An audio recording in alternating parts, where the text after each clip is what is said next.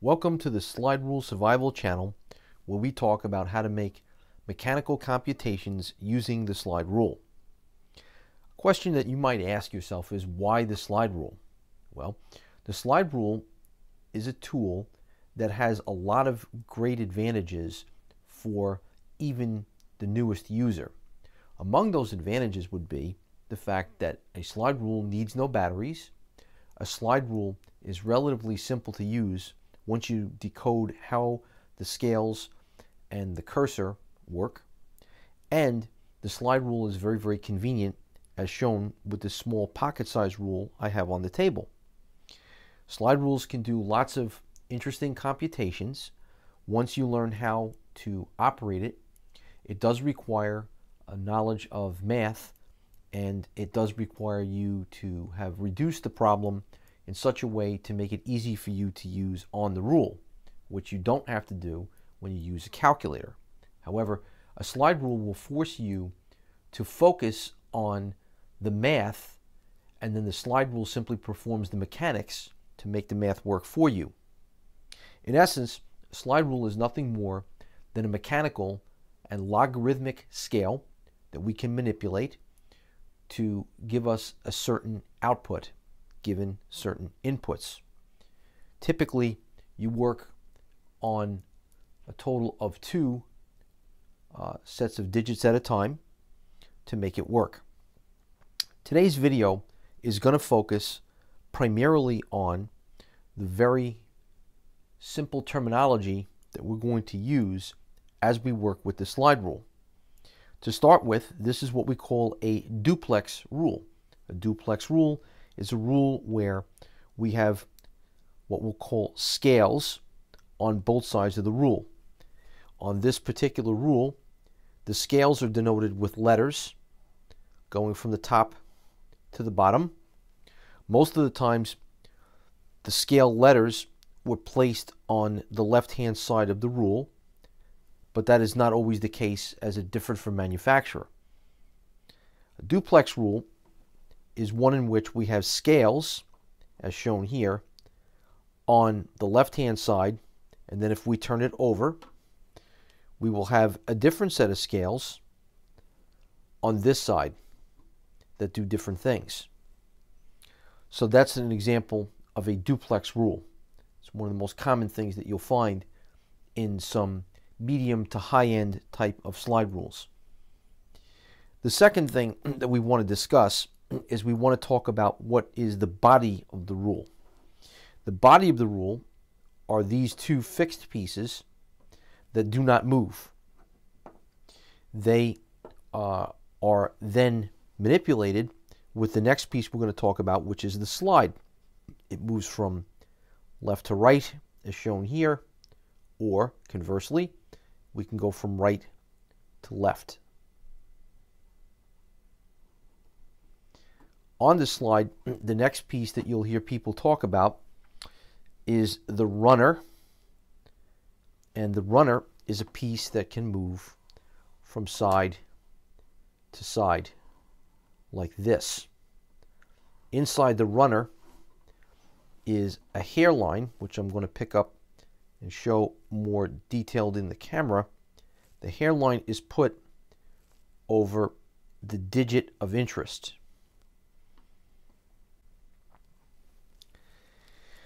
What we're going to talk about next is the basic scales that one might show on a rule. In essence, what you're going to notice about a slide rule is that it has different scales on it to perform what we'll call different functions. So in basic math, we have what we'll call a rule. So as an example, if we have a value y, and then we have on the other side of our equal sign 2 multiplied by x, we've created a function that says every time you see x, you multiply it by 2, and that will give you an output y. So if you think about it, a function is nothing more than a machine. I give it an input, in X, I create an output in Y. Right? As such, what the slide rule allows us to do is to make computations in such a manner as that we can actually perform even a what if scenario with the slide rule. We'll get into that in later videos. For right now, let us suffice it to say that we have some basic types of scales, which I'm going to kind of go over very quickly. The two most basic scales that you'll see are the C and the D scales. They stand for the two items that we're going to manipulate. The two most basic computations on a slide rule are multiplication and division. In multiplication, what we're doing is we're adding the logarithm representation of the two numbers of interest and then figuring out what the product is. Since in mathematics many things come in pairs and two things can be duals of each other, you might not be surprised to know that division represents a case where what we're doing is we subtract the logarithms of two numbers. And in essence, why a slide rule is so powerful is because it allows us to represent a very wide range of numbers because as you look at the slide rule, what you'll see is that as we go from the left-hand side of the rule to the right-hand side of the rule, what you'll notice is that the tick marks, which represent various numbers along the number line, get spaced smaller and smaller, closer and closer together. Why? Because this scale is not a linear scale, but it's actually a logarithmic scale. And that's the reason why we can use the slide rule very conveniently to do lots of operations. So, to review, on very basic slide rules, one will have the C and the D scale. After C and D, a lot of times manufacturers would place the inverse and inverses are typically always done with red lettering, and whereas C and D will go numerically greater, going from left to right, the inverse scale works in the opposite way, in that we start with our numbers and they go from right to left. So this is the smallest number, and that's the largest number. You'll note on this particular slide rule, but this is not always the case, is that even when I'm increasing from left to right, the numbers on the end are called indices. And it turns out that this number might represent the smallest index, called the left index.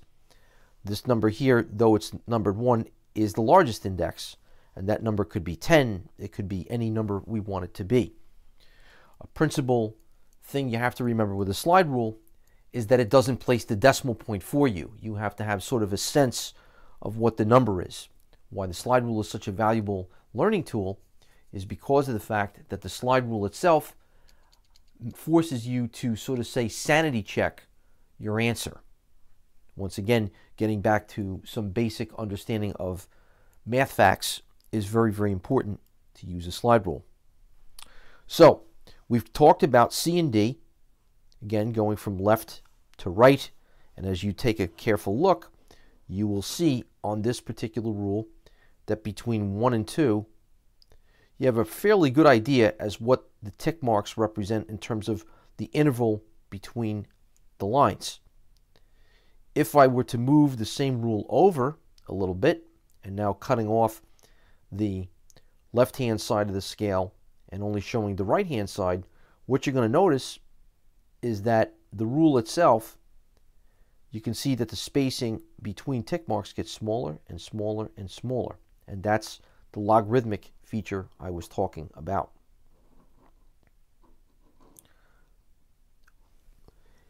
So, basic scale functions, again, represented by letters, are things like square, square root, cube, cube root, trigonometric functions, in this case represented by sine and tangent, and for small angles below let's call it about 5.5 degrees, we have a small angle scale called sine tangent.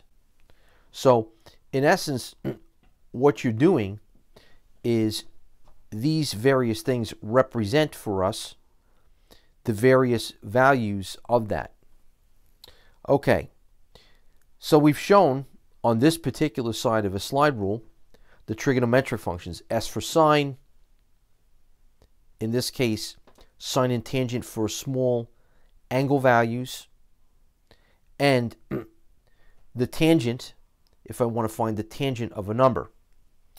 Um, so that's the key pieces for trigonometric type of functions. There's a couple of other functions that are related to this. This scale here is called the p function, otherwise known as the Pythagorean function. That is for right angle type of computations, and we will talk about that more later. Some other basic things that were put in for your convenience are what we call the folded scales. In this case, this particular rule has two folded scales. This one here is called CF and DF, and what that allows us to do is that allows us to multiply a number by pi. So in essence, this rule is calibrated, if you will, centered around pi. So that's how that works. Finally, another thing that was put on for your convenience is the CIF scale when I want to divide a certain number by pi. So that comprises some very basic functions that you'll see on most medium to high end slide rules. Let's turn the slide rule over. And as we turn it over, we're now going to see a different set of scales. Typically, they'll always include C and D or either D by itself or C by itself, depending upon how the rule is laid out. Again, every manufacturer is different. And then here's an example of working with square root, A and B. And going further down, this is an example of cube root. Let's say many times in nature, we want to um, figure out exponential rate of growth or decay. Well, that is why the scales LL 1, 2, and 3 were developed. The ones in black, again, are read from left to right. And if you take a look at these top scales, again, these are inverse functions of the transcendental number E. And you'll see that on this side of the rule. So those are some very basic things that you'll see that are common to slide rules. Now, I should point out that not everybody uses the designators A and B in terms of working with squares and square roots. That sometimes can change from manufacturer. The other thing that is often found on slide rules are things called gauge marks. These are convenient things that you might have to do some common type of computational things that you'll need. As an example, if we're working um, in calculus, many times when we work with trigonometric functions, we want to convert from degrees to radians. Let's say, uh, as another example, we might want to go from radians to degrees. Area to diameter, or diameter to area, might be other things we might want to compute. So manufacturers might put certain constants, and if you multiply or divide by that constant, you can obtain very quickly, with very little effort on your part, the value that you desire. Some other types of things that you might see on a cursor might be special markings, things like kilowatts, and then if you know kilowatts, you can convert easily to horsepower right on the rule. Sometimes they'll include a factor like 3.6, can be when I want to convert from, let's say, hours to minutes, and so forth. Some rules also even include an actual ruler, which is basically to measure linear distance in either centimeters or inches. That's common uh, on some lower end rules that you might see where it does a little bit of everything. As far as materials of construction, rules vary widely in what they're made of. Some of them are all plastic, some of them are plastic and metal together. Some of them are wood, and then the scales themselves were done in a sort of celluloid. And it really kind of depended upon what the manufacturer was aiming for. The size of the rule I've shown on the table is a slide rule that is a 5 or 6 inch slide rule. Uh, typically, if one wanted a little bit more precision in setting a number, they might use a 12 inch or 20 inch slide rule. And we'll get into differences between the terms accuracy and precision in other videos. So we talked about that. Uh, in our case, we will have a video later on that can be looked at in terms of our evaluation of a slide rule, right? How would one evaluate a slide rule? Well, one might look at the number of scales on the rule. One might look at how easy it is to read or understand the scale. A lot of times on European rules, what was used was they might show the letter on the left hand side of the rule, and on the right hand side of the rule, they'll show you the function corresponding to that letter. And turning the rule over, you'll see that the same basic idea is repeated on this side of the rule. So that gives you sort of say a very, very basic idea of the slide rule. To go into a quick example of how the slide rule might be used is what we're going to do is we're going to illustrate and tie together some basic points to keep your interest. Let's say I want to multiply 2 multiplied by 2. Well, what I can do is I can take my left index, put it under the 2 here, then let's see if we can figure out our answer. We already know the answer if we know our math facts, but you'll understand the power of the slide rule once I go through this with you. So I take my left index, so in essence, I'm adding logarithmically the value 2 here, and now what I want to do is I'm going to now take my cursor, put it over the second number I want to multiply by. So here's the first number of 2. That is what sets 2 as the first factor. And the second factor is the number I want to multiply by is 2. And if we look under the hairline, we'll see the number 4. Why is that important?